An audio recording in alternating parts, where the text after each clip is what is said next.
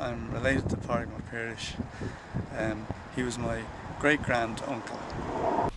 And my father was Pierce McLaughlin, and, and his father was Alfred McLaughlin, and his father was Alfred McLaughlin as well. And he, uh, that Alfred McLaughlin was uh, Emily Pearse's husband.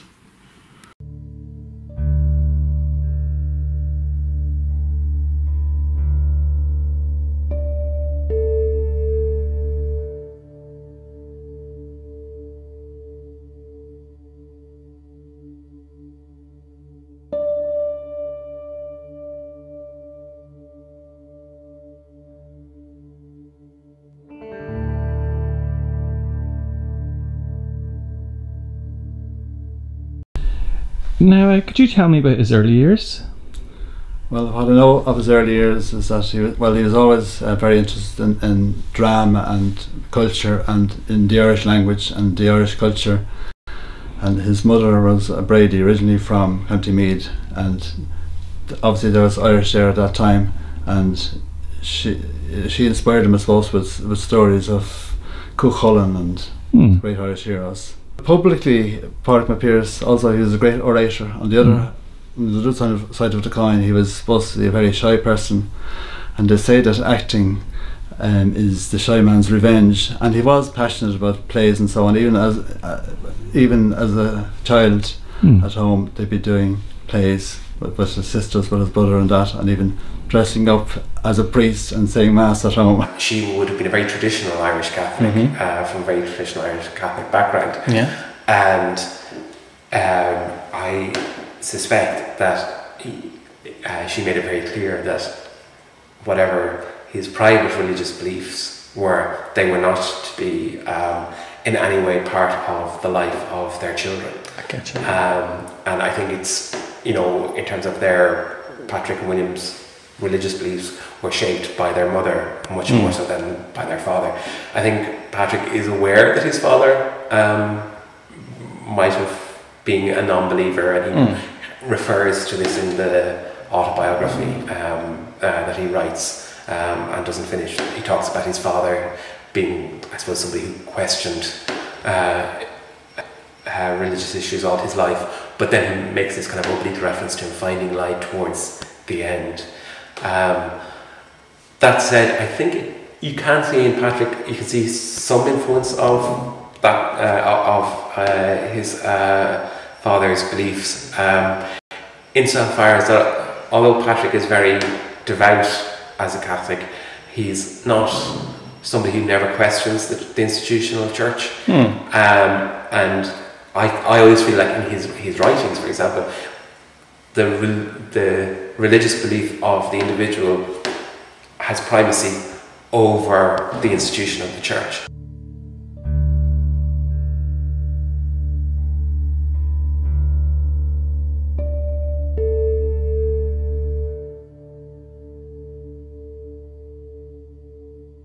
Bhí an an sí méige san éige ó bhí sena dhégúir agus bhí sé só chohil sa tír bhí sé géirí bhí sé an anáil hí sé go na mar bhí sé áring a chaán sé reis ríisteí sé a go rusmach spáinte sin agus an thug sé techa rusmach a spáinte sin nuad meas bhíige ar rusmachchas a winter rusmach as chua mu na háite gomór bhhaimime agus an sort saimhre scultúr a bhís náit as bhí anna le go winter na háite agus Bechas is sin fiú an lá an Johan an mesteag mit an áite fós air far Pierce. Yeah, Connemara was very special to Portland Pearse and the Aran Islands and all the Gaeltachts. Like he spent time in Donegal and he spent time in, in the Kerry Gaeltachts as well. And I, I remember when I went to Inisheer first myself in the Mm. Aran Islands, from, being from Dublin, and I said to myself, "This is what Ireland was like before the English ever stepped Yeah. foot here." So I say it was the same kind of thing for him when he came to when he came to Connemara. Yeah. It was alien to the English-speaking world. Let's see, this is the old school, um, school in Gurtwall, where Pádraig O'Conneilla was the headmaster. And Pádraig O'Conneilla was a friend of Pádraig Mac Piarais. In fact, it was he's the guy who um, invited Pádraig Mac Piarais here in the first place ever. You know, Pádraig Mac Piarais was in Conradh na and they were they were looking for um, people to teach Irish around the countryside, and they were going to the Gaeltacht to get um, native Irish speakers. Sure. The, the native Irish speakers had to do a test, an exam, to make sure it wasn't actually to do with the quality of their Irish, it was to do with their reading and writing ability.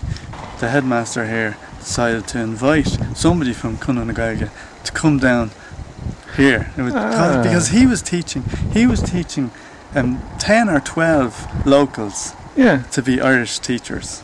Okay. because this place was really really poor and like there wasn't much farming or fishing or that kind of not even some fishing but um he, you know he knows well this is these are Irish speakers. We could um get them jobs you see. And he was very he was very much a nationalist himself. He was into, big into the, the language and the Irish culture. So they sent up to Dublin could you ever send somebody down um, to do the test here Yeah. because we're not all going to go up to, up to Dublin um, and so it was arranged that a Kiggera and an inspector would come inspector would come down from Dublin and that happened to be Paddy McPirish Oh. and that was the first time he came here well they put this plaque here last year and the interesting thing about it is you see they have the seat and Yeah. you can look across it for Chuck and Fierce is and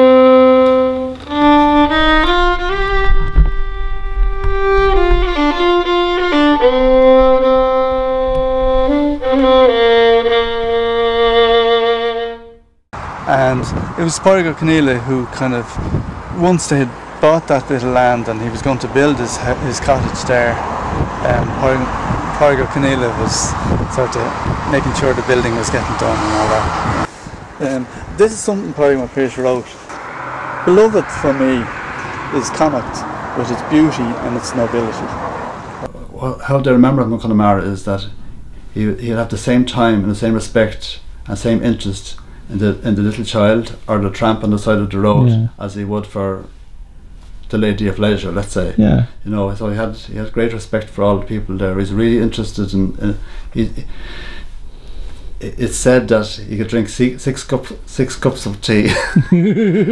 so he spent a lot of time into the into the the early morning talk listening really to maybe old people talking. Yeah. The the richest language would be from the old of the older people. So Yeah. He was coming here like for 10, 9 or 10 years. He Mm. used to come here every year. Uh, or it was like a summer house. Yeah, He yeah, He used to come here, like he came here to to when he needed a bit of peace and quiet. Actually, yeah. uh, you know, away from prying eyes, like if they were absolutely kind of planning things.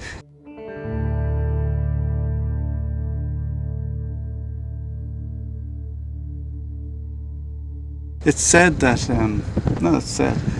I think all of the, all except possibly not James Connolly, although we don't know. Yeah. But all of the seven signatories actually stayed there with him at some stage.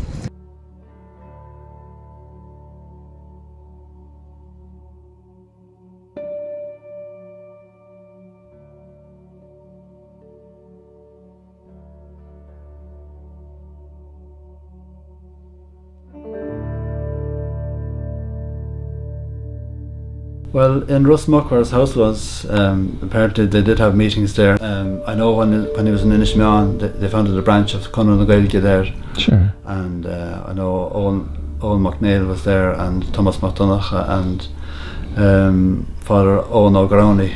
Um, you, you might have heard that uh, Synge stayed in Inishmaan. Yeah. And there's a house in Inishmaan which, which, which they call Teach Synge now, but I see um, it's uh, Chachveni. Ch- Shan Chachveni is what is the real name for, is, All is the actual name place, but the, they call that um, Ollscoil na Gaeilge, the Irish University, because so many people stayed in that house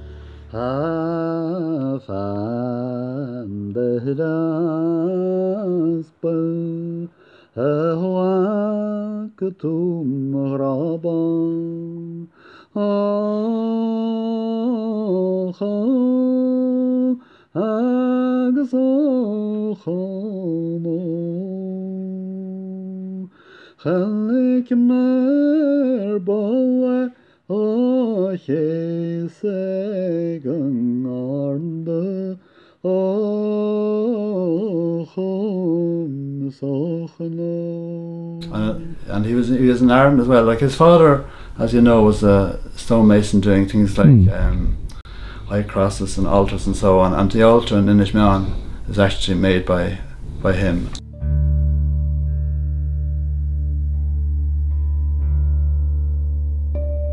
And also, there's a high cross in, when you come into Kilronan and Inishmore. There's a high cross there. Uh, at the bottom of it, you see. Well, uh, uh, obviously, it was um, James Pearse built that, and his name is on it, and Brunswick Street, Greater Brunswick Street.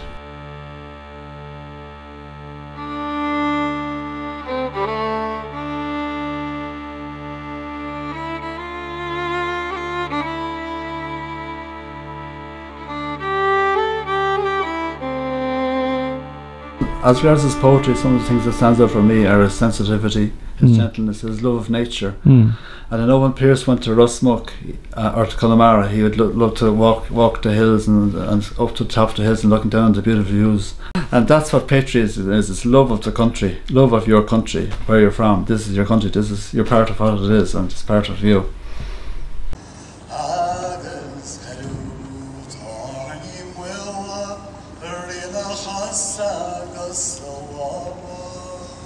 Well, yeah, the first time he arrived, I was telling you he was coming um, on the train from. He was coming on the train from Galway to Mam Cross, Okay. and he was to be. It was arranged he was to be picked up at Mam Cross, and they sent a pony and trap to pick him up. So the train arrived, and the gentleman. They didn't. They had never met this guy before. So the train arrived. The gentleman got off the train, and they ushered them onto the pony and trap and they brought him to Rosmuc and it was all arranged he was going to stay in the headmaster's house. The only thing was another gentleman came off the train and that was Parry McPierce. So So they got the wrong person, They got the wrong person. And um, so they had to quickly arrange where, where we put him up. So they got a, a second pony and trap and they brought him to this house here. This is the post office in Rosmuc. This was 1903 or something, the first time he came. And so he stayed in the post office in this house here the first time he ever came to Rosmuc. And apparently there's a, a room in that house now and they call it Shomra and Fiercy. And that was uh, the fellow who told me that was Frank O'Malia.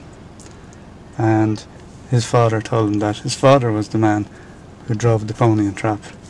And it's still O'Malia's are own that shop and post office now.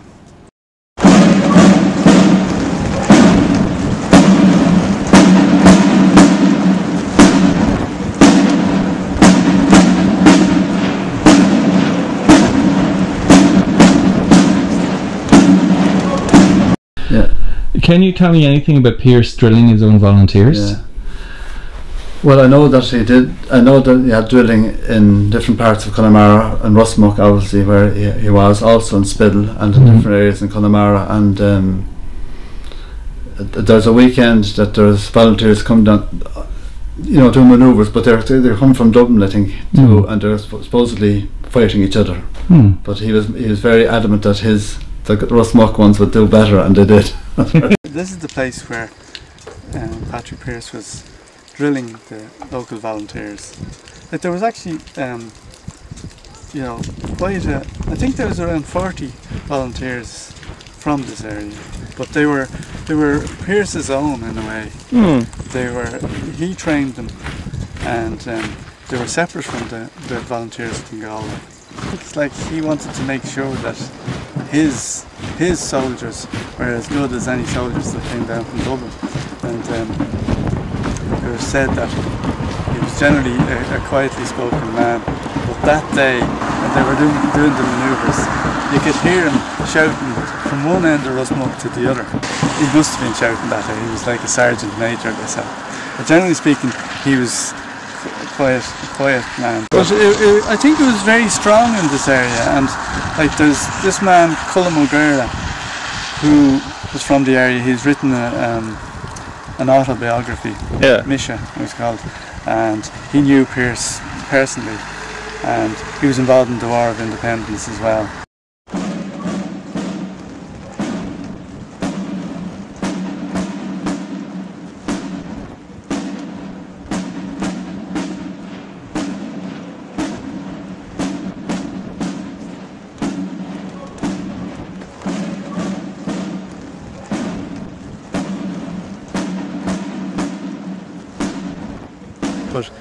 Was Pádraig McPearse who got him to write articles for Claidheamh Soluis.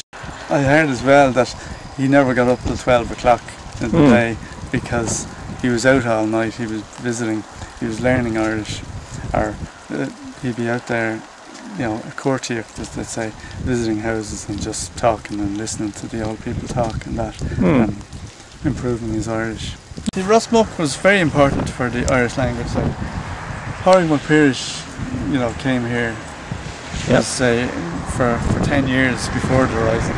Sure. But there's a lot of other um, people involved with Conradh na Gaeilge. So, like, I'd say it worked both ways. He inspired them to write. Because one of the things he was thought was important was if we need Irish to be a, a living language, we need to have um, new Irish literature, not just old stuff from the old days. We need to be talking about what's going on these days.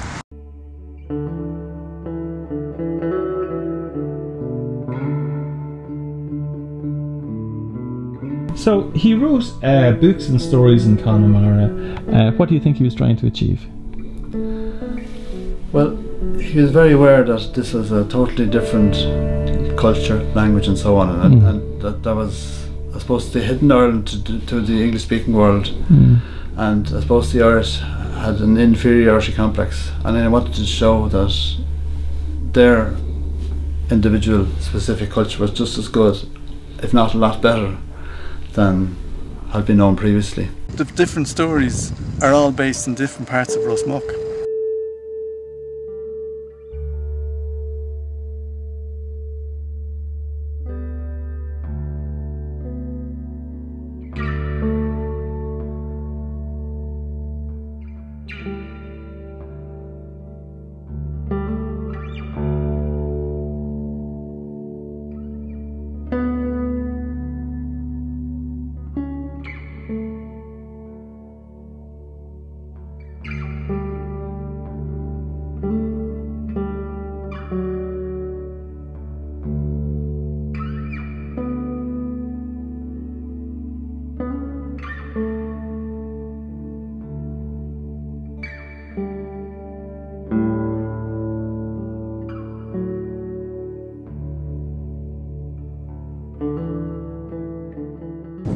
Had a sister, Mary Bridget, who was um, quite a sickly child, and I think this might have influenced, um, you know, a lot of his writing because there's one one of the other stories. This is about um, a little boy steals a, a doll to give to his little sister because she's sick and he thinks this might help her. And you were telling me that there was a story about a man who used to watch the kids play um, that didn't go to church. Yeah, that was um, Shan Watchius. Yeah. I was talking to an old man, and he told me that Shan Watchius used to live up there. And in the story, Shan Watchius didn't go to church anymore. He must have had, he had had some disagreement with the Yeah, church. yeah. And um, he used to sit at his door and watch the children play. And he told me that the children play down here. So, like, Oh. the story was based right here Yeah. in this place um, because the children still play down there. I think that's exactly the way Patrick was with the church. He, The other thing I suppose that happened was in Iosagán and in the title story Iosagán, old Matthias, um, the, I suppose in many ways the main character has uh, lost his faith or has had some kind of falling out with organised religion. And uh, by the end of the story, then he's reconciled through the direct intervention of the Christ child. So he's reconciled with God before the priest arrives. Yeah. And when the priest arrives, actually Matthias is dead. one of the short stories on Jarek Deal was about um, the first time Patrick Pearse went to Mass. We're mm, close to the church now. Um, went to Mass here. The priest was um, given out about some woman in this parish type of thing. Mm. And he said, now, except for the fact that there's a stranger amongst us today, um, I'm not going to say too much, you know, because there's a stranger amongst us. But he basically read her off the altar and Patrick Pearse was not impressed. And um, you know that's um, that's in that story. You know, like I actually think Pádraig McPearse was very spiritual, but he wasn't. Um, he was a, he was devout, but he wasn't big into the church authorities. Like even in St Enda's now, um, he didn't have a chaplain Hmm. to do at the school. If he needed a priest to come in and say mass or something, he'd invite a priest in. But well, you know, his father Hmm. was um, probably a, a professed atheist. I Yeah, don't know. Even yeah. though he was he was a church builder or whatever, Yeah. he was also um, a radical thinker, and um, I think he was a member of some atheist society. So, like, Pádraig McPearse had a had quite an interesting background. He probably his mother Margaret Pearse was probably a devout Catholic from County Meath, but his father was a serious thinker who Hmm. m- mightn't accept everything the church. Yeah, no, this is the place where he was going to. Um, he wanted to build a house actually. Hmm. He tried to buy a bit of land here because you can see the mountains all the way around Yeah. from this angle. Hmm. Um, I don't know. He, it, it didn't work out, so he ended up um, buying or building the house beside. It's a lovely place where he, he picked as well Hmm. uh, by the lake. Okay.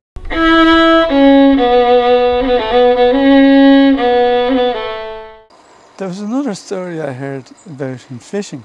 Okay. He used to, you know, go out there on the on the lake, just um, sit there fishing. But he never, he never wanted to kill a fish. I'd say he was a very gentle person. He made a big impression on the people of Rosmuc, I think, Hmm.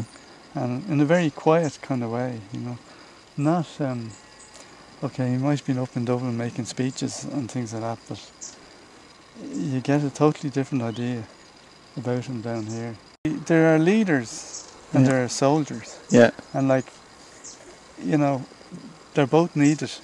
You know that little prayer that was in all the readers in the schools before 1916?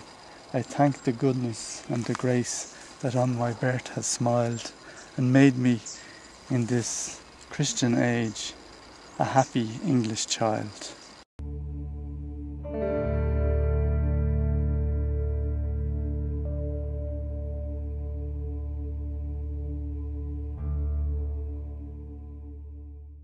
Cinnig Cinnig hapan muid na háite faoin bersa sin seo.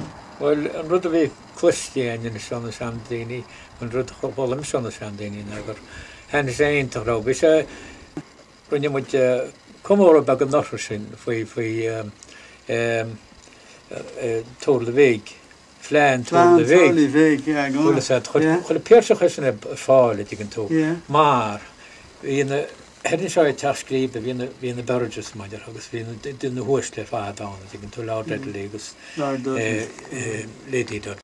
According to Colm O'Gara's Mise, the local gentry and their flunkies thought Pearse an eccentric. The twin forces of Anglicisation and imperialism were pressing on the Gaelic culture in Rosmuc.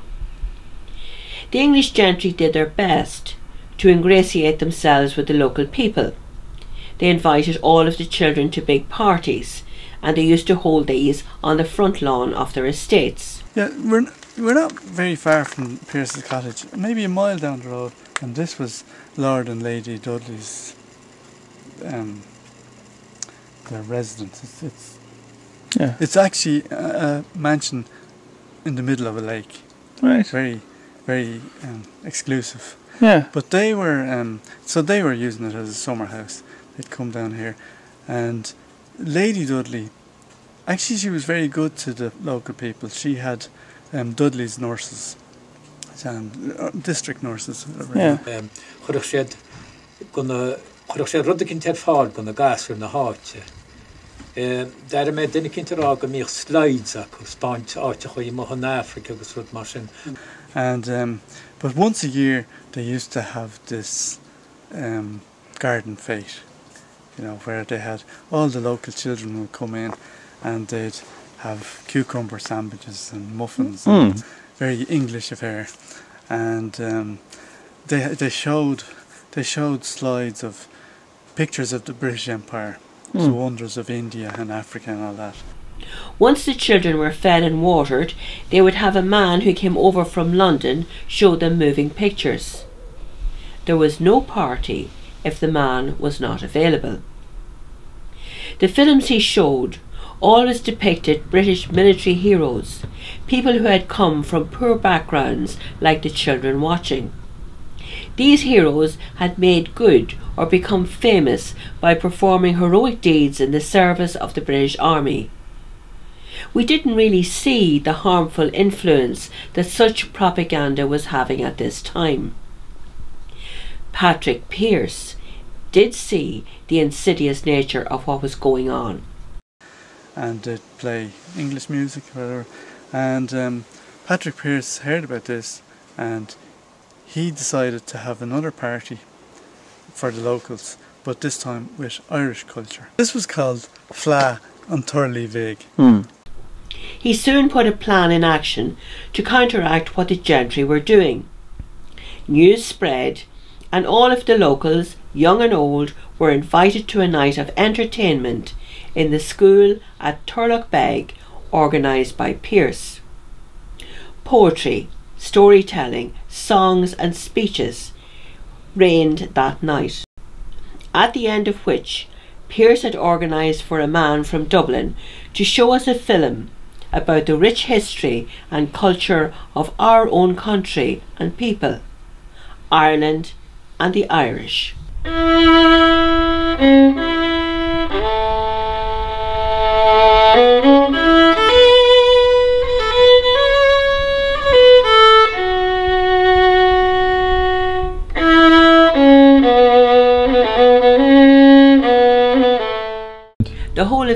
Left a lasting impression on those who had attended.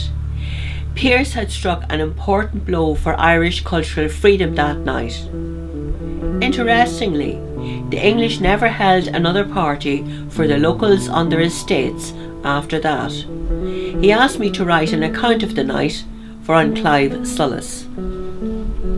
And actually, last year in 2016, that's what the locals did. They had a big fla here with Irish music and channels and storytelling in memory of that fla. And when you, when you think of that, like the idea of the schools of the British Empire were to prepare people to be good British subjects. And Patrick Pearse was out here and he's saying, no, we're not British. We have our own identity, a Gaelic identity.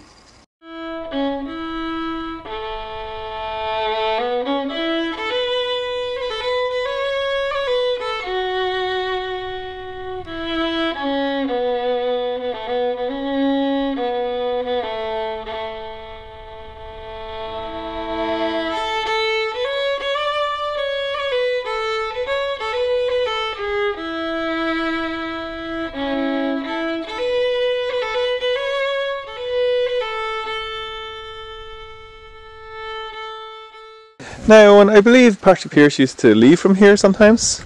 The Rosmuc is a little peninsula really, and it's, we're surrounded by water. So sometimes, um, if you wanted to leave without being noticed, the, the police could have been at the station, the train station, but he used to leave this way. You can get, you can go to Galway, you know, from here by boat, obviously by hooker.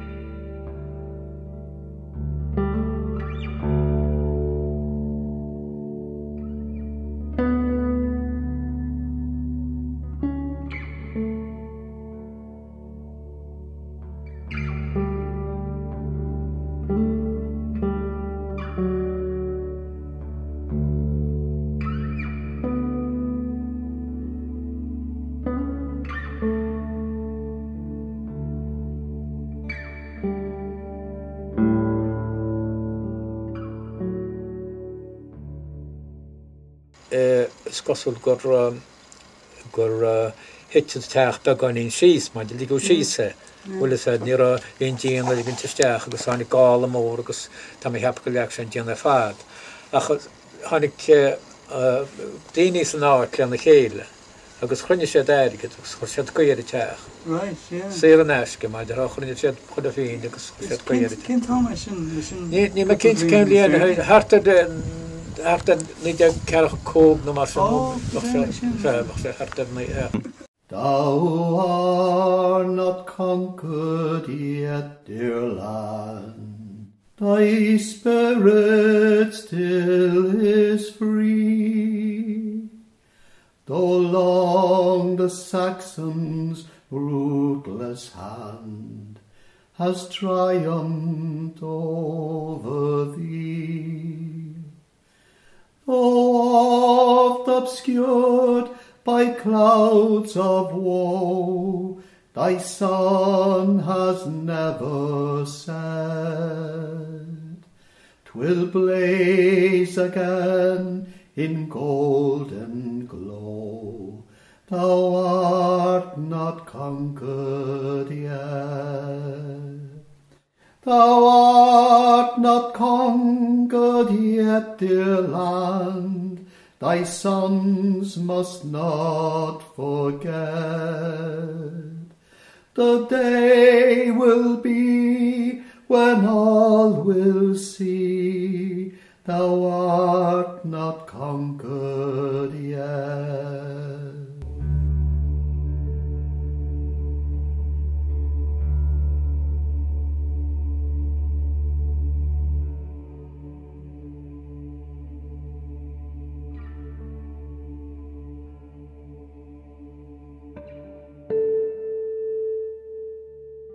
I, I was working on a project last year, Hmm. all about um, Pirish and our connection with Parliament Pirish and our connection with Rosmuc.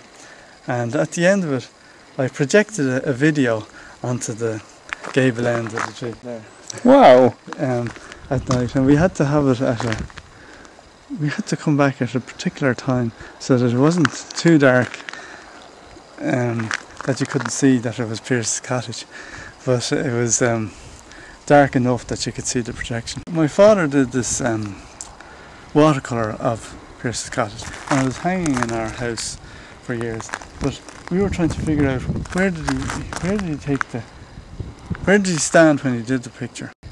I, I think he did the painting from around here. Right. And the thing is, the thing that gave me the clue is that pointy rock there. It's still there. 1939, it's a long time ago. So What, it- what does this place mean to you? well, um, because like there was this painting um, hanging on the wall all our lives. My dad died when I was only 10. So there was this painting of Teach an Phiarsaigh on the wall. So it was kind of lovely to have. Muisike hen farbrasin er a choran a pashe Ocha agus ocha Annelach menim tu to goarin ochum sochno Hanne shenamakin ahjum per metriera Ochum es ochum Onyeshamakin arroguences double. ochom sochno Onyeshamakin a hello and nacht water Oh, agus ó a bhí cílehúneach tá de bhil dohrún geara ó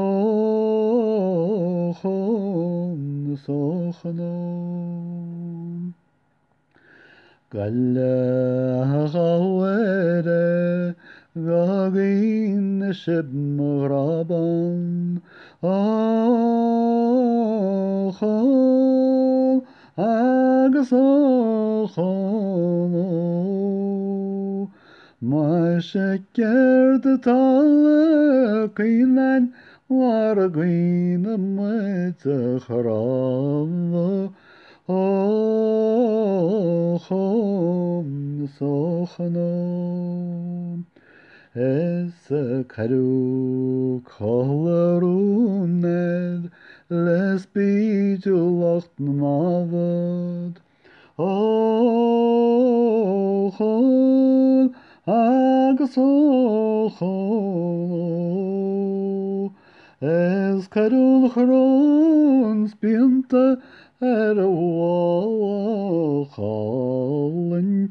ar a bhááin